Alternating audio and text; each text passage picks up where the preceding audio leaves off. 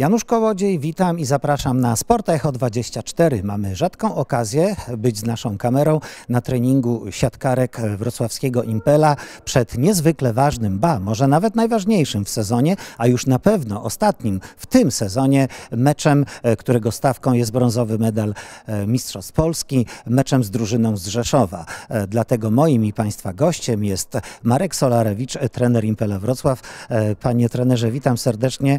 E, Podejrzewam, że ten świąteczny trening, ten jest poświąteczny, nie różni się od tych, które były w czasie świąt, bo tych świąt, jak już się zdążyłem dowiedzieć od e, kapitan Joasi, prawie nie było. No ale taka była wyższa konieczność. E, Dokładnie, musieliśmy pracować przez okres świąteczny normalnie, tak zostały, zostały ustalone terminy tych meczów, e, że praktycznie kolidowały ze świętami, więc e, mimo tego musieliśmy normalnie działać i pracować, bo jesteśmy w końcu profesjonalnym zespołem i mm, jakoś musieliśmy to wszystko ułożyć, udało się, pracowaliśmy przez całe święta w zasadzie. E, Jesteście profesjonalnym zespołem, który znakomicie spisywał się przez sezon zasadniczy. E, Pan jest akurat zwolennikiem takiego rozstrzygnięcia tych decydujących e, spotkań. Ja myślę, że gdyby to była po prostu jedna tabela i zakończenie sezonu tak, jak to wyglądało, byście mieli drugie miejsce. Teraz walczycie o brąz. Przypomnijmy, wynik niekorzystny. Porażka 2 do 3, ale porażka, która daje Wam szansę. Wystarczy y, wygrać za trzy punkty. Proszę rozwiać te y, różne wątpliwości, bo y, ten złoty set nie wszyscy to rozumieją. E, Tak, jeżeli wygramy ten mecz e, 3-1 lub e, 3-0, wtedy jakby otrzymamy trzy duże punkty meczowe e, i wtedy wyprzedzimy e, naszego przeciwnika, czyli Rzeszów, w tej bezpośredniej rywalizacji, bo oni za ten pierwszy mecz otrzymali e, dwa punkty, bo wygrali z nami e, 3-2. My dostaliśmy jakby ten jeden punkt. Mamy za te dwa sety de facto, które tam mamy wygrane, dostaliśmy taki mały handicap w postaci tego jednego punktu.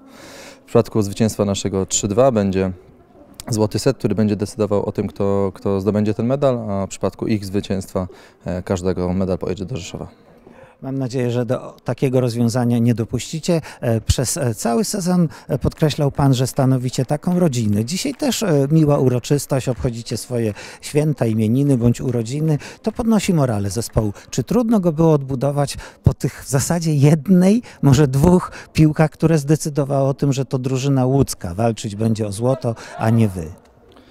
Mieliśmy specyficzną sytuację, bo po pierwsze ten mecz był bardzo blisko, e, ten mecz o brązowy medal po meczu półfinałowym. Mieliśmy mniej przerwy niż Rzeszów.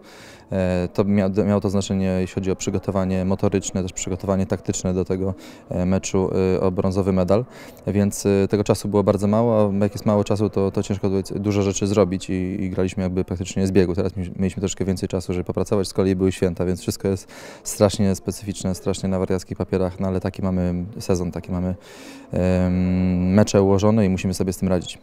Tak, jak najbardziej zapraszam serdecznie wszystkich kibiców do hali Orbita e, w środę. E, Liczymy na doping e, kibiców. Przez cały sezon świetnie nas wspierali. Na każdym meczu była świetna atmosfera, więc myślę, że na tym ostatnim meczu postaramy się zrobić wszystko, żeby dać naszym kibicom dużo radości.